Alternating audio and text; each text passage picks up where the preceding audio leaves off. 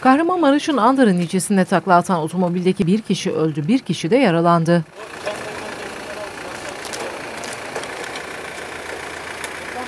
Kaza akşam saatlerinde Andırın Göksun Karayolu'nun 15. kilometresi Kaleboynu mahallesinde meydana geldi.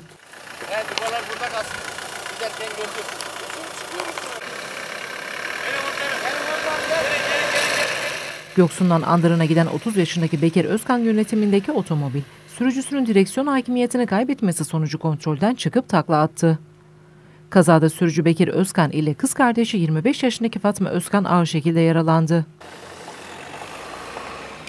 Yoldan geçen sürücülerin ihbarı üzerine olay yerine sevk edilen ambulanslarla Andırın Devlet Hastanesi'ne götürülen yaralılardan Fatma Özkan, yapılan müdahaleye rağmen kurtarılamayarak hayatını kaybetti.